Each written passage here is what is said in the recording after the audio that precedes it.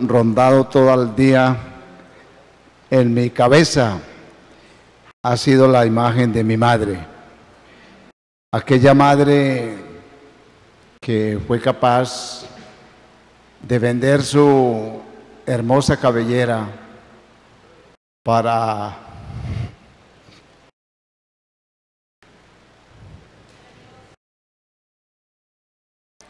ayudar a comprar algunas medicinas.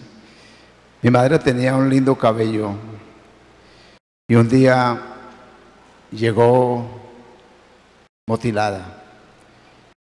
Y luego me di enteré que lo vendió porque no teníamos otra forma de adquirir alguna medicina para mi enfermedad. Y es la imagen que hoy he tenido en mi mente.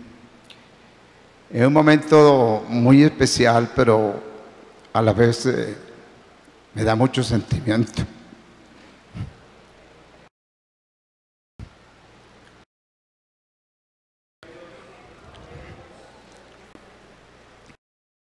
También recuerdo que después que fui al hospital en Cali para dar testimonio y había allí la junta médica que dijeron, conocemos tu, tu historia clínica, ¿por qué estés caminando? No lo sabemos. ¿Puedes explicarlo? Pero claro, yo no podía explicarlo. Yo simplemente dije, fui llevado a una iglesia cristiana, oraron por mí y yo fui sano. Y los médicos me ponían a caminar y uno de ellos dijo, lo importante es que lo que nosotros no hicimos, alguien lo hizo. Y yo reflexionaba en verdad que es lo que dice la Biblia. Lo que para el hombre es imposible, para Dios es posible. Y tengo la imagen de otra vez de mi madre porque el administrador del hospital, un doctor llamado de apellido Ramírez, me dijo, hombre, me ha interesado tanto su, su asunto que me gustaría que trabajaras aquí en el hospital, tal vez de mensajero, no sé, pero me ofreció un trabajo y regresé de ese lugar a mi humilde morada donde vivía en un campo, en una casa de campo. Y le dije a mi madre que, entre otras cosas, me habían dicho que me iban a dar trabajo en el hospital. Yo trabajaba en los campos, en las labores agrícolas, y no entendía cómo podría pasar de lungo o de obrero de campo a trabajar a un hospital y hacer no sé qué cosas. Y rondaba por mi mente muchas cosas, porque comenzaba a visualizar y a soñar con muchas cosas. Y cuando regresé a mi humilde lugar, dije a mi madre,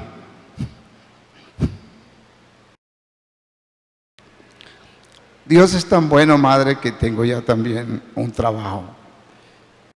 Y ella dijo, ¿dónde va a trabajar? Yo le conté que tal vez en el hospital me daban un trabajo.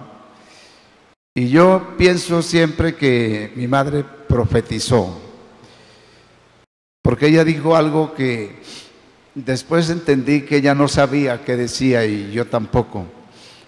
Pero Dios la usó a ella y ella me dijo, hijo, tú no servías para hacer ninguna actividad porque eras paralítico y Dios te sanó. Y ella dijo, dedícate a servirle a Dios. Y yo no sabía cómo porque yo nunca estudié para ser pastor. Nunca estudié. Entonces, eh, eso quedó así. Pero En verdad que era una experiencia tan real que comenzaron los hermanos a llevarme a sus casas y comenzaron algunos pastores a invitarme a los púlpitos y otros me invitaban a las emisoras radiales. Y yo sin darme cuenta iba haciendo mi carrera y comencé allí mis estudios de pastorales. es mucho decir, pero en verdad ahí comenzó mi primer semestre de, pastorado. Eh, hablando en las radios, hablando en las plazas públicas, yendo a los hogares y yendo por las calles con megáfonos, con cornetas, y siempre lo que antes me había dicho un anciano cuando por primera vez me visitó en mi lecho de enfermo y él me dijo tres cosas que las he dicho en muchos lugares. Él me dijo, Jesucristo salva, sana y bautiza con el Espíritu Santo. Y yo comencé a repetir eso a la gente, porque si había sido verdad en mí, pienso que también es verdad en cualquiera que lo puede creer, igual que lo creí yo. Y entonces, después yo resulté siendo predicador.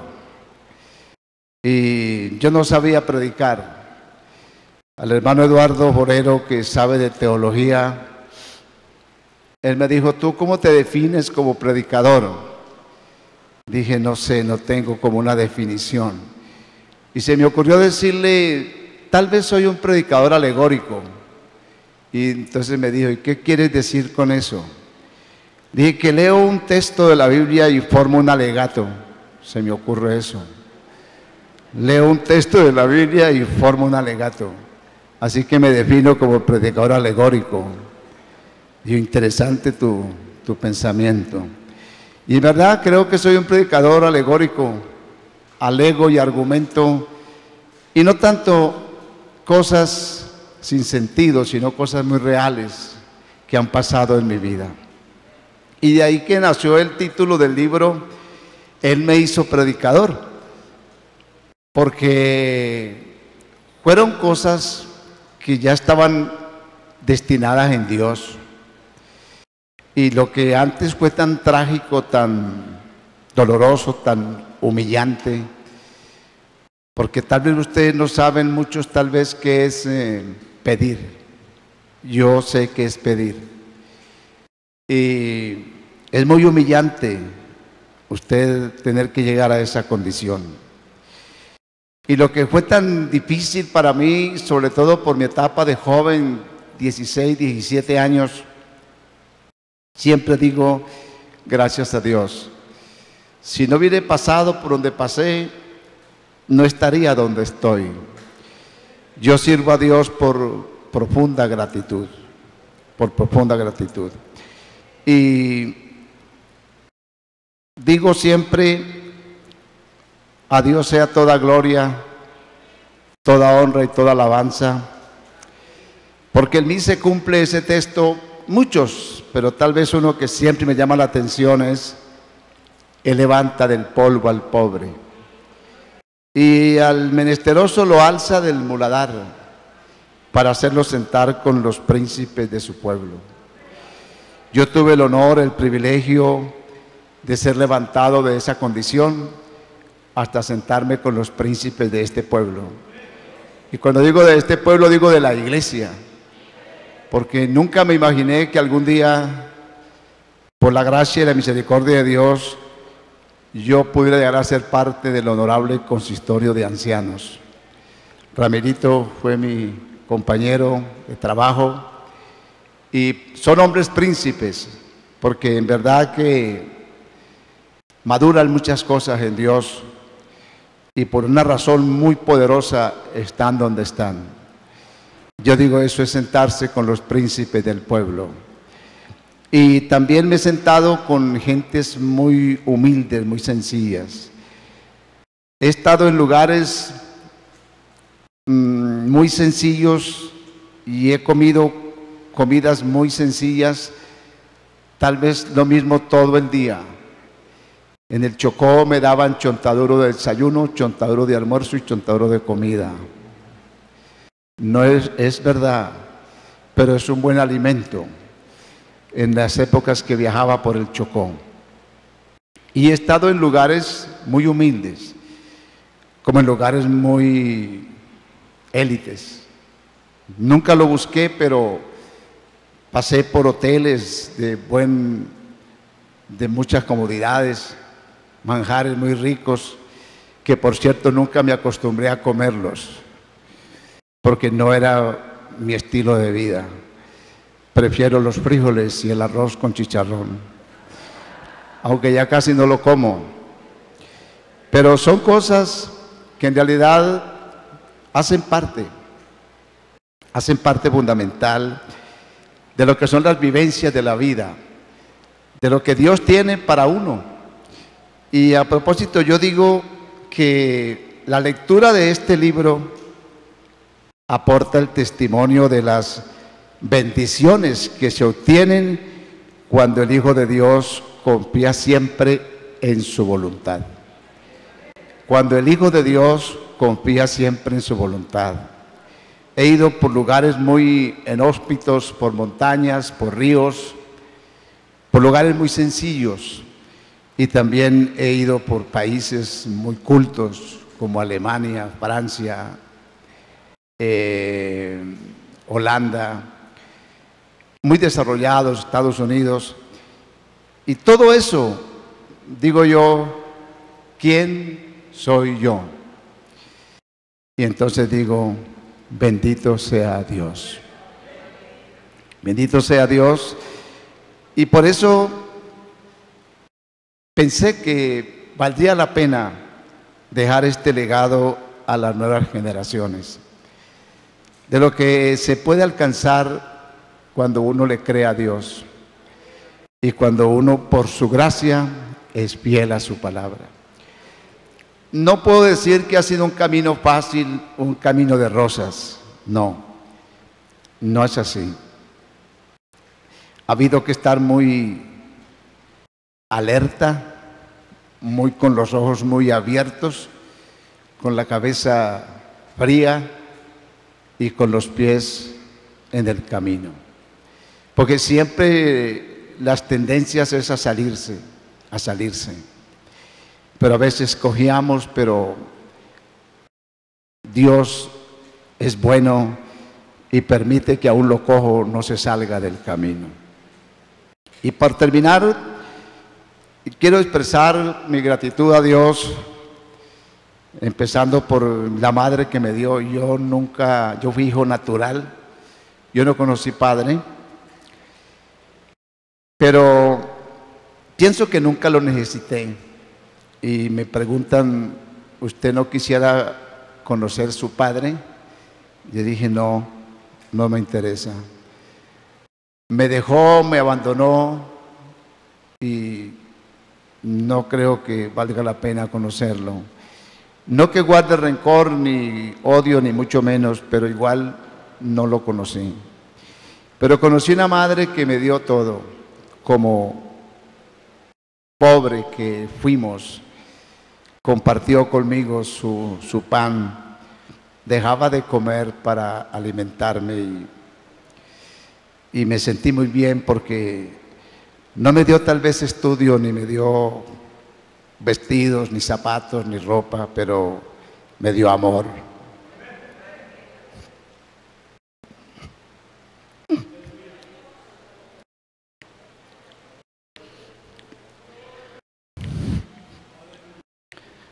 Me dio amor y siempre me decía que me quería mucho.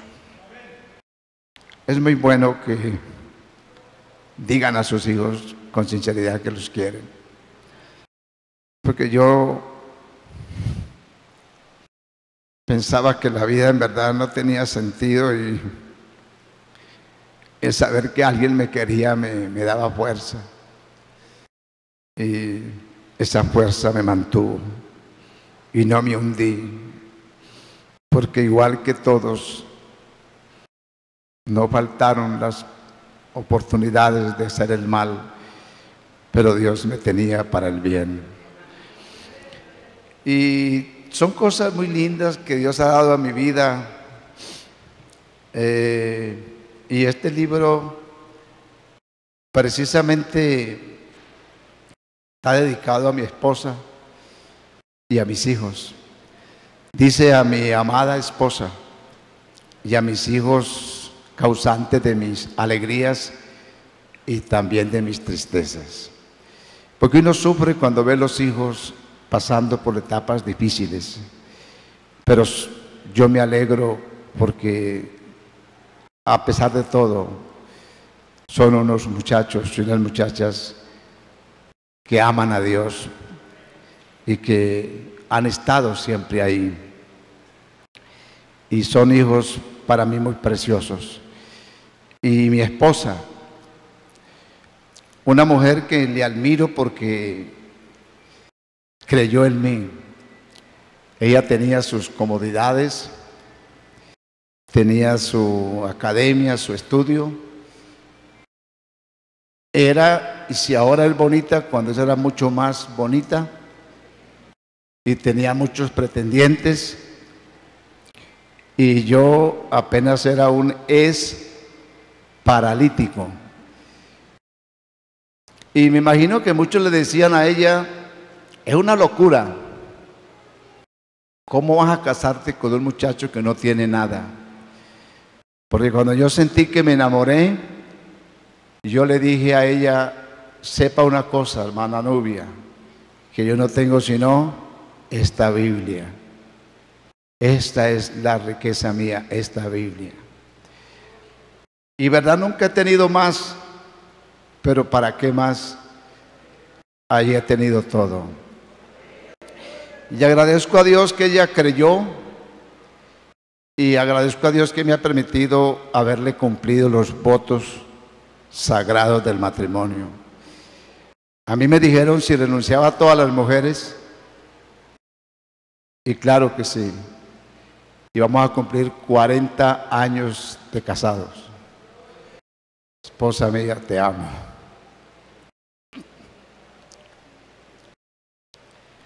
Y mis hijos, eh, Adriana, no sé si esto lo estén transmitiendo fuera. Mi hija mayor es eh, mi inspiración. Ha madurado muchas cosas en Dios. Llevan 16 años o 17 trabajando en Estados Unidos y ha sido muy duro, muy duro. Pero ella siempre se guarda sus cosas, ella no cuenta sino las cosas buenas. Pero después me doy cuenta cómo ha sufrido ella y el amor profundo que tiene por Dios. Dios bendiga a mi hija le llamo y le digo, hija, te soplé la bendición.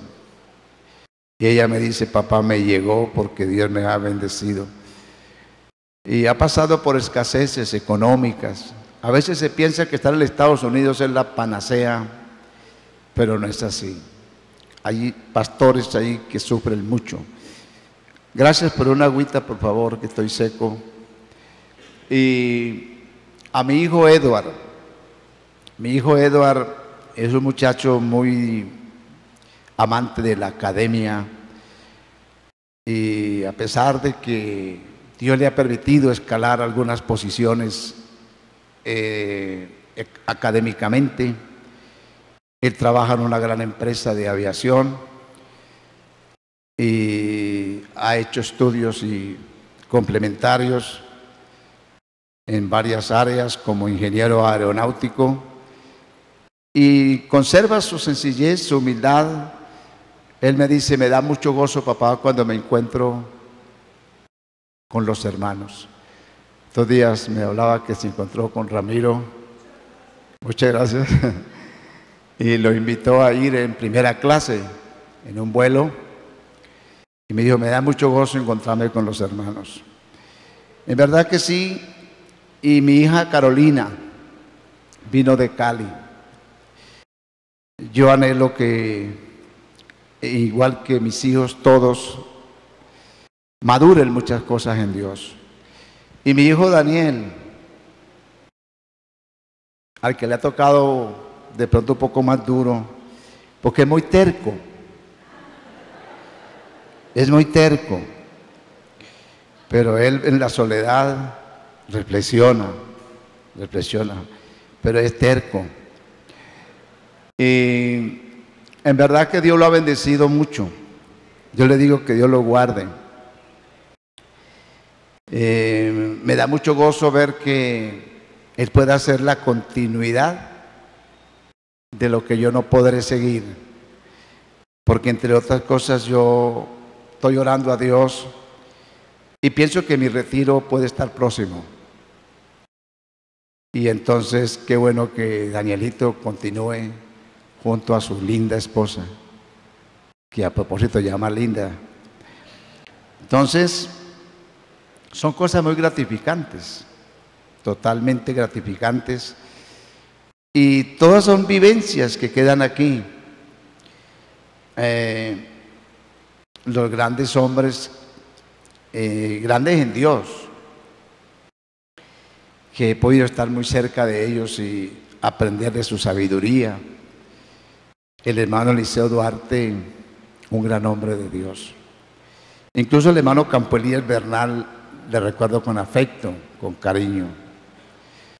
Aprendí mucho del hermano Campo Elías Bernal. El hermano Domingo Zúñiga, aprendí mucho de él. Recuerdo sus primeros campamentos con ese hombre. ¿Te acuerdas, Ramiro? Eran, eran, eh, eso era, ¿cómo se llama? Fuego. Fuego. ¿Te acuerdas cuando nos enseñaba Colosenses? Tremendo, ¿verdad? La kenosis de Dios. Es un privilegio estar cerca de grandes hombres de Dios. El hermano Álvaro Torres. Álvaro Torres no es fácil de convencerlo. Él también es terco. Y yo hablaba con él y entonces él me dice, pero muéstrame con argumentos, convénceme con argumentos. Álvaro, hermano Álvaro, es que yo pienso diferente. ¿Por qué? Demuéstrame con argumentos. Es terco, pero es un gran hombre de Dios. ¿Verdad que es una bendición eh, en el consistorio? Junto a ellos aprendí muchas cosas. El hermano Reinel Galvis, el cual yo le agradezco profundamente porque quiso eh, eh, escribir en este libro acerca del autor. Te va a leer. Él escribe acerca del autor porque el hermano Reinel nos casó a nosotros y tuvo mucho que ver, hemos estado muy cercanos. Es un gran hombre que admiro. Ramirito que está aquí, te aprecio Ramiro. Es un hombre íntegro. Y siempre me ha gustado hacerme al lado de los hombres así, porque me gusta picotear cerebros y aprender de los que tienen algo en el corazón y en la cabeza. Y Dios me ha dado ese privilegio de estar cerca de ellos y aprender de ellos. Seguramente que muchas cosas más podría decir. ¿Verdad que quiero agradecer a Dor Heidi? Hacía tiempo no te veía. Eh, Dor Heidi, Luz Dari y Lina. Tres mujeres. Yo siempre les digo, tal vez las mujeres que han estado más cercanas a mí por asuntos de trabajo. Trabajamos muchos años con ellas y les agradezco ese, ese respeto, eh, ese talante. Son mujeres muy confiables, supieron rodearme y hay del que se metiera conmigo, la que se metiera conmigo, porque ahí estaban las tres mosqueteras Dios bendiga a Lina y a Dorheide y a Ludari. A veces no es fácil. Uno se va allí metiendo en el cuento de de líder, de ejecutivo, de no sé qué, y muchos se comen el cuento y se soplan, discúlpeme la expresión, ¿no? Toman aire y dan lugar a muchas cosas. Pero gracias a Dios por las que me sacaron el aire y me sacaron el aire y me hacían aterrizar siempre. Son tantas cosas, hermano, por las cuales uno dice hoy, Dios ha sido bueno, porque le ha puesto las personas que en verdad eran las que tenían que estar ahí. Y entonces uno no puede sino reconocer todo ese caminar. Hermanos, no me interesa en verdad tanto lo económico, aunque esta es una obra costosa. Procuramos hacer un trabajo desde el contenido, de vivencia, de testimonio real, sincero, y además me asesoré, busqué asesorarme. No digo que hicimos lo mejor, pero me estaba recordando Harold ahora que este libro pasó por revisiones de muchas personas. Profesores de la Universidad de Antioquia tuvieron que ver con este libro. Eh, Pedronel Muñoz, licenciado en educación. Mi yerno Enrique Pozo, eh, el hermano Diego Llanos. Diego, te agradezco mucho tu trabajo. Fue muy eficiente y también escribe, Diego, estuvo ayudándome mucho en este trabajo. ¿Y quién más es que está aquí? Bueno, mi hija. Mi hija escribe el prólogo de este libro. Es hermoso. ¿Verdad que está inspirada esa hermana, esa joven, esa hija? para escribir el prólogo de este libro. En este libro se ha trabajado, es un trabajo de más o menos, Harold, ¿cuántos años? Cinco años, más o menos. Y dije, pues ya no estoy en el consistorio estos tres años, entonces voy a dedicarme al libro. Siempre quise sacarlo, pero la funcionalidad de ir y venir no me permitía pero estos tres años he aprovechado para dedicarle buen tiempo a esto. Entonces quiero entregarles esta obra con mucho amor, esperando que cuando lea esto le fortalezca y le afiance su fe en que el Dios no es un Dios del, del pasado, es un Dios del presente. Y que Hechos de los Apóstoles no termina con amén. No dice amén, como quien dice que esas obras continúan, continúan. Y yo soy parte. La iglesia, si todos los que nos hemos encontrado con realidades profundas en la fe, escribiéramos, tal vez como dice Juan, si todas las cosas se escribieran una por una, los libros no cabrían en el mundo. ¿Usted se imagina la magnitud, cómo se inspiraba Juan? Si una por una se contaran las grandezas del Dios que se mueve en nosotros, los libros no cabrían en el mundo. Pero es bueno que algunos se atrevan a plasmar sus letras. Job decía, desearía que fueran escritas con plomo. Y lo fueron escritas porque hay cosas que vale la pena que el mundo y las generaciones venideras la sepan, la sepan. Hermanos, solamente me queda agradecerles.